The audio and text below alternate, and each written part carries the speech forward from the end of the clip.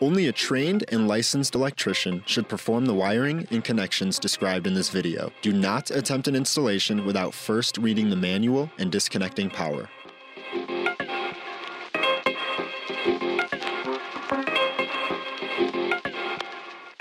Upon opening the box for the PWRcell inverter, you should find the inverter, the installation manual, the owner's manual, the commissioning checklist, the mounting template, wall bracket, and CT accessory kit.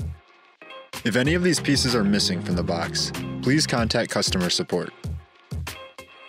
Note the registration sticker on the front of the inverter. You will need this for registering the device later, so do not damage or discard it.